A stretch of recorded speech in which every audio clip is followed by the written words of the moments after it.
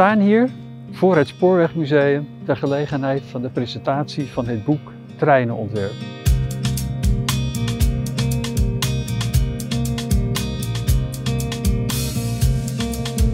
Ik ben Niels Schrijf. Ik heb ruim 40 jaar bij de Nederlandse Spoorwegen gewerkt als industrieel ontwerper.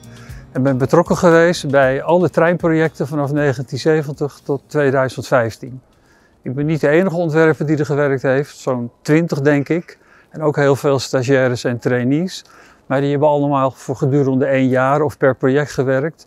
En ik ben de enige, dat is wel heel uniek, die 45 jaar lang betrokken is geweest bij al deze projecten. De prachtige bibliotheek van het Spoorwegmuseum is gevuld met duizenden en duizenden boeken over stations en treinmaterieel. Maar over het ontwerpen van uh, treinen is geen enkel boek geschreven. Dat is toch heel vreemd. Want de reis van de, van de reiziger gaat, begint bij het station en gaat uiteindelijk dan met de trein. En je zou denken dat voor de reiziger de trein het belangrijkste onderdeel van de reis is. En dat daar geen boek over geschreven is toch wel heel erg vreemd. En het voelt eigenlijk als een soort, uh, een soort uitdaging bij mij toen ik dat een aantal jaren geleden dat dat wist. Om er toch iets aan te doen. Dus ben ik begonnen met een boek schrijven. Ik heb vijf jaar geschreven aan het boek. Ik heb een deel van mijn vrije tijd eraan opgeofferd. En ik heb daarvoor ook 52 personen geïnterviewd om zo breed mogelijk gedragen verhaal te krijgen. En uh, ik heb ook heel veel archieven, privé en uh, openbare archieven bezocht. Aan documenten en uh, afbeeldingen. En dat is allemaal uiteindelijk in dit boek terechtgekomen.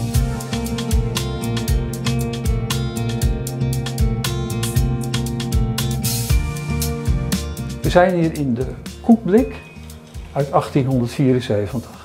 Dat is op zich een heel oude trein, maar nog niet zo oud als de eerste trein, want die reed in 1830 tussen Manchester en Liverpool. Maar dit geeft wel een beeld hoe de mensen toen de tijd in de trein reisden.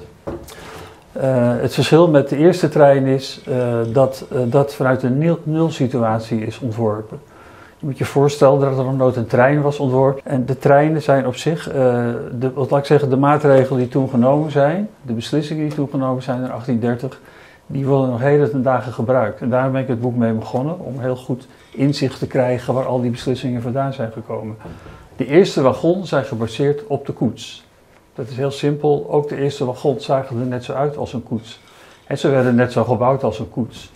Ook de basismaten van een koets uit die tijd, die zie je ook weer terug in de treinen van die tijd. En het interessante is dat zelfs de spoorwijdte, die was toen van de koets 1435 uh, mm, die zie je zelfs nog terug in de huidige treinen. De huidige Nederlandse treinen hebben ook nog steeds een spoorwijdte van 1435 mm. Het leuke is ook dat uh, deze trein is 45 jaar later dan de eerste trein.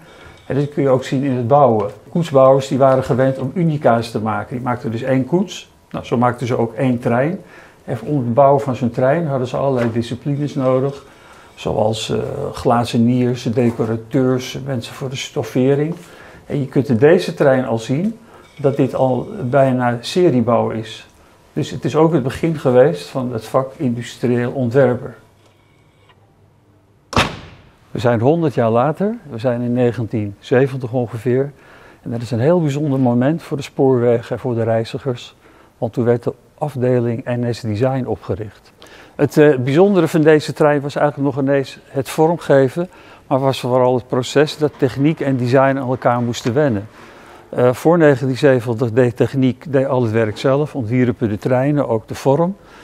En uh, het was voor ons heel erg wennen dat wij nu een trein moesten ontwerpen, want dat hadden we nog nooit gedaan. Dus we waren opgeleid voor het ontwerpen van straatmeubilair, van verlichting, van huishoudelijke apparaten. En zo'n trein is natuurlijk wel iets heel anders. Het ontwerp van deze trein, dit is eigenlijk ook, ook wel te zien dat het in de beginperiode was. Want het is best een simpel ontwerp. En dat het zo bijzonder is, komt eigenlijk door de kleur geel. Als deze trein in de kleur groen was geweest, was het een hele simpele, saaie trein geweest. Maar vooral de kleur geel heeft het heel bijzonder gemaakt en ook heel modern.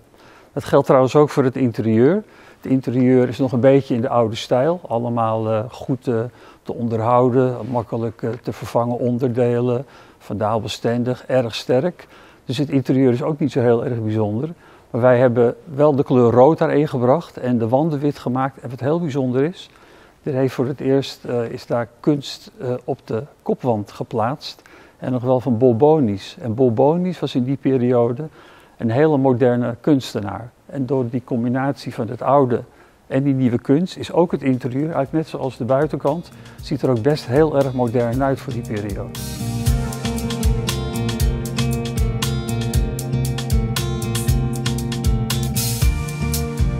Staan in de modellenhal van het Spoorwegmuseum.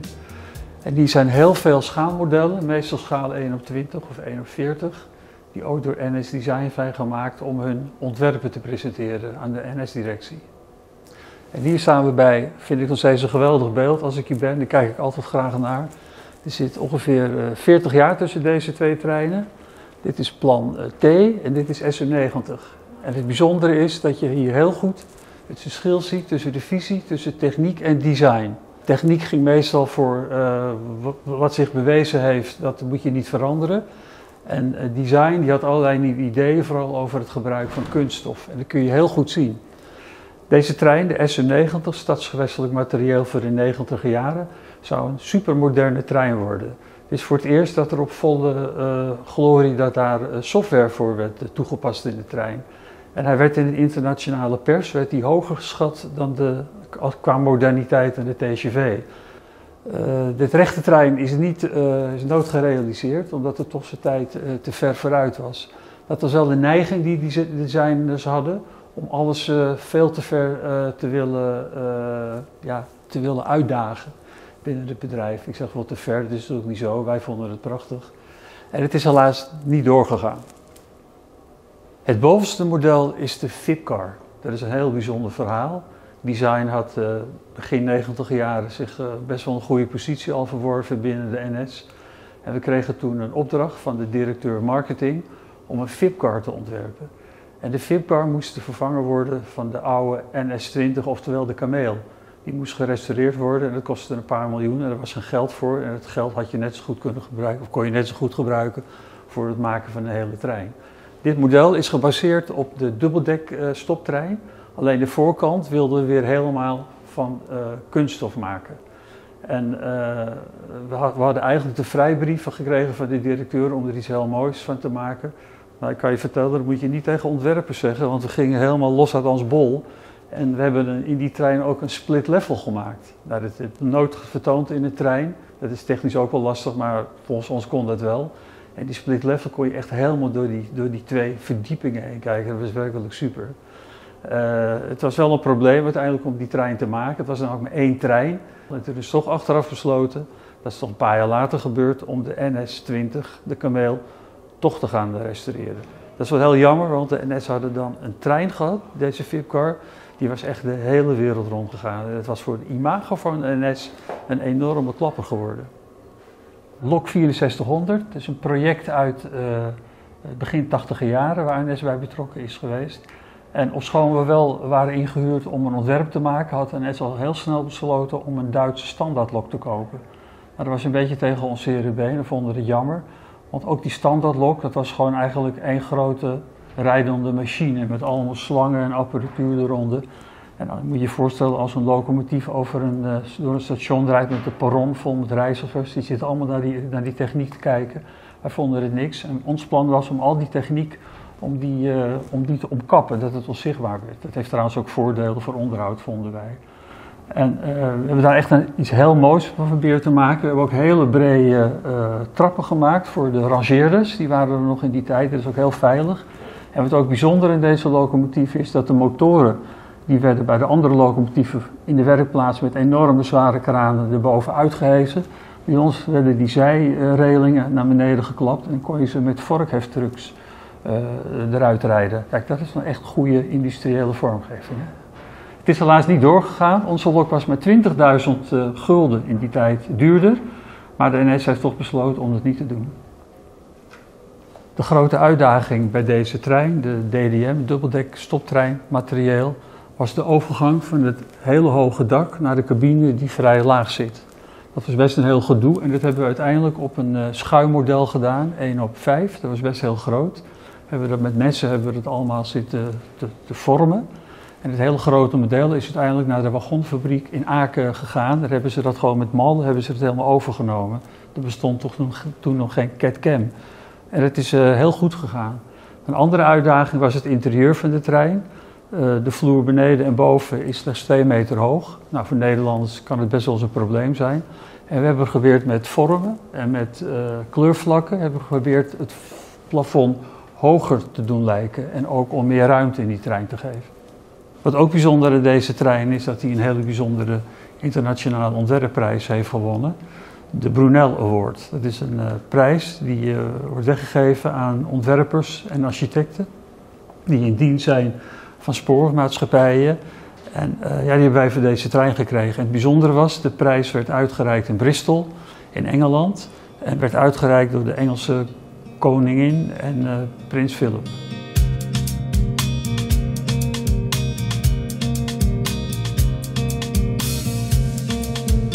We staan hier op dit moment in de Kameel, oftewel de NS20, oftewel het voormalige directierijtuig.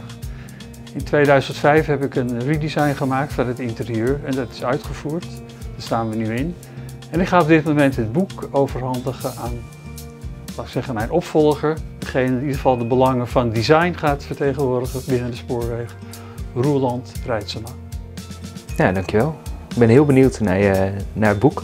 Nou, dit is wel een heel bijzonder moment, het overhandigen van het boek. Ik heb ook een beetje tegenstrijdig gevoel erbij.